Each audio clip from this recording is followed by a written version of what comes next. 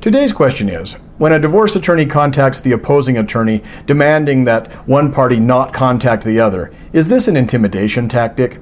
Not usually, but it's often, not always, but often a posturing and passive aggressive move.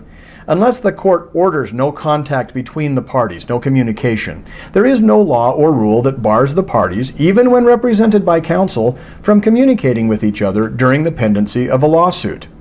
There are situations where it's clear good sense for one party to a divorce to want no contact with the other party, such as when one party is physically and or emotionally abusing the other party. No contact may be necessary for the other party's protection.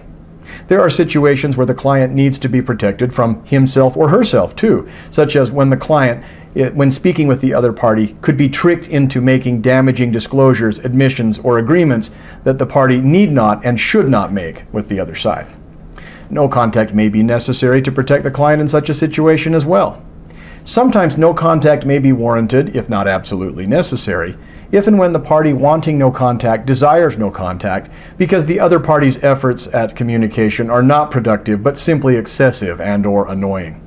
Otherwise, when the attorney for a party sends the your client is hereby on notice that she is not to have further communication with my client kind of letter or email, it's usually posturing or an attempt to ensure that attorney has more control over his or her own client and the case. Some attorneys like the you are to have no contact except through me policy because it then leads to the attorney being more involved in the case so that the attorney can unduly control the client and or bill the client more.